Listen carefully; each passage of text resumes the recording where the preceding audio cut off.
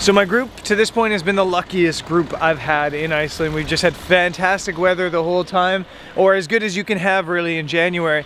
But this morning we're in Höfn and we were hoping to photograph Vestrahorn Mountain and the weather's so bad you can't see it. So um, we're gonna game plan and maybe go sit and wait it out, but looks like our luck has changed finally.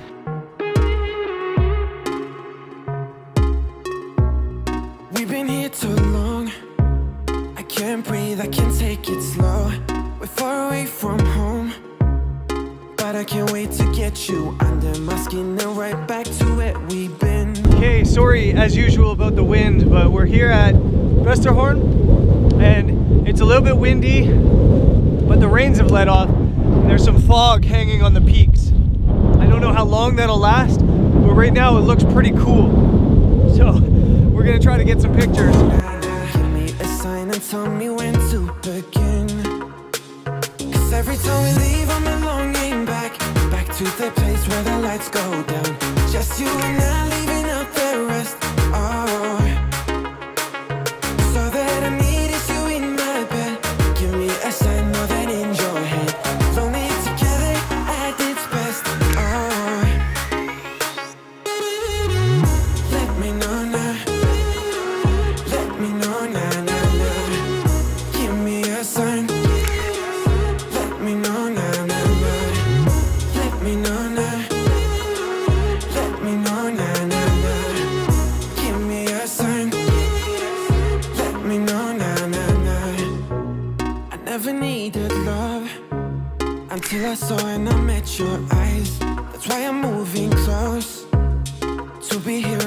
Get you under my skin and right back to where we've been. Give me a sign and tell me when to begin. Cause every time we leave, I'm longing back, back to the place where the lights go down. Just you and I leaving out the rest. Oh,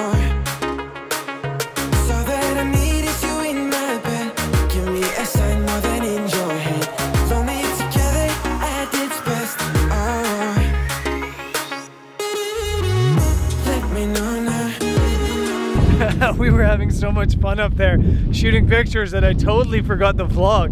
This is the problem of uh, having a workshop. Not only is it harder to vlog because there's a lot of people around, but it's harder to vlog because you get distracted by the fun you're having with everybody. And we just have such a good group here in Iceland. And it's been so much fun. The conditions weren't perfect. Uh, definitely not perfect. Uh, there's still lots of cloud. It was getting hammered by uh, rain and mist on the filters and lens all the time. The tide's a little bit too low. So you couldn't, it was hard to get water in the foreground and really good reflections. It's too windy to get good reflections. But I do think we still got a couple good photos. And I definitely know that we had some fun. Uh, yeah, the luckiest group I've ever had in Iceland.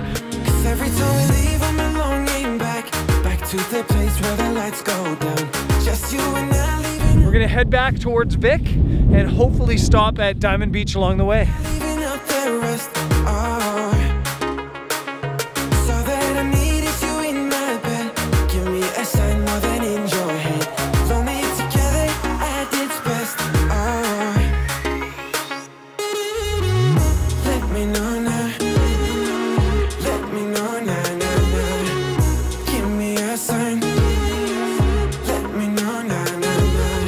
Made it back to Diamond Beach, but the weather is terrible. Uh, it's raining, so I think we're gonna push on back to Vik.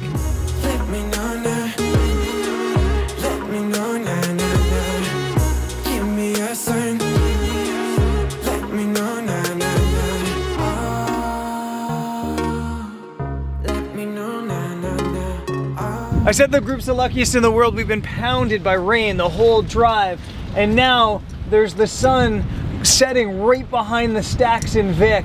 And there's the potential that this is gonna be awesome. I'm gonna shut up now and run down to the beach and try to get some shots.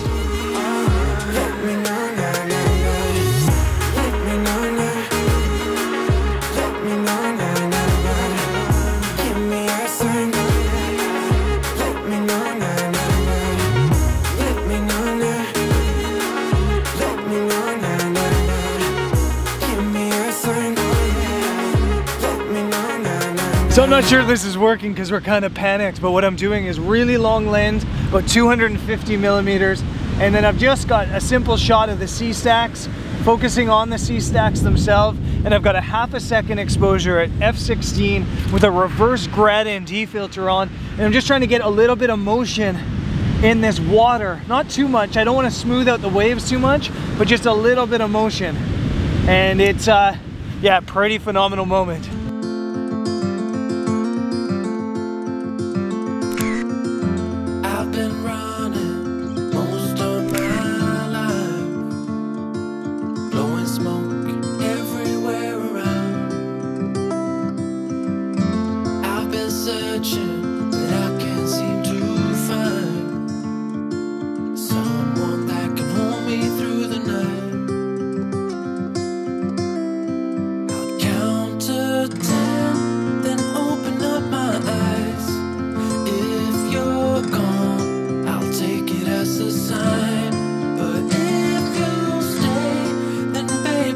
Baby, hold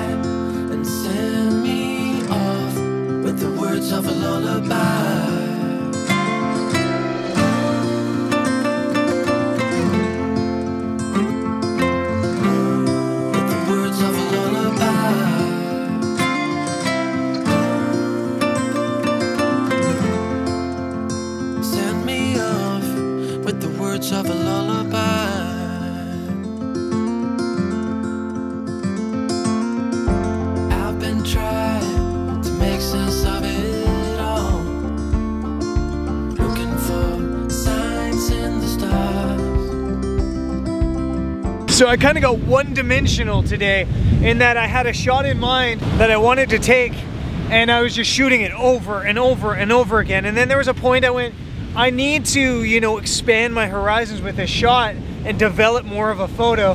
And I walked down to the beach a little bit farther and found this rock for the foreground. But by the time I got set up on it, the light just disappeared on me. So I guess it's kind of a, a lesson. Unless you absolutely love a photo, take it and then move. If you absolutely love a photo, stay on it, sit on it, wait on it, get it right. But if you're like okay with the photo, take it, then move. And I made that mistake and I'm kicking myself now because the lights just totally, totally died. And I, I got, I'll show you what I took, but it's not what I wanted. to- But yeah, sometimes that happens. in the stars. But it's been right in front of me this whole time. I'll say it again, the luckiest photography workshop in Iceland right here. It was pouring rain, then at sunrise it let up and let us shoot. Then it poured rain all day and the whole drive here. As soon as we got here, it lit up. And then as soon as sunset happened, we're back in the rain. So yeah, I can't even believe this happened. It's just been incredible how lucky we've been. And uh, I guess it's time to head home for the night.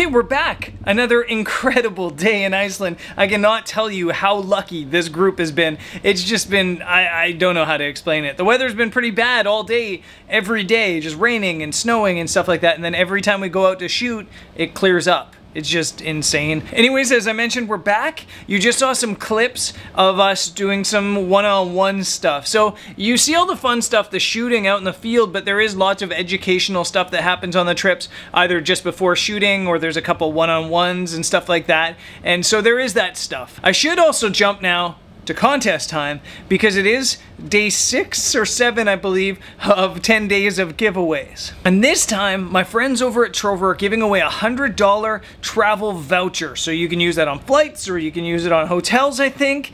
You can use it on a bunch of travel related things. And yeah, 500 bucks for your travels. The way this contest works is over on Trover.com. So you head over to Trover.com, you upload a new image, and that's one of the rules. It has to be a new image, new upload. You can't just like tag all these old images. It has to be new. You upload your image and then in your caption, include the hashtag, hashtag BVS100K. And then I'll go through the images at some point and pick out a favorite image and that person will win the $500 travel voucher. And that's it, I think. Hopefully there'll be another video tomorrow. We're heading towards the Philippines eventually, so there might be sporadic uploads due to connectivity and flight issues. So um, yeah, stay tuned for that. I'll see you there. Peace.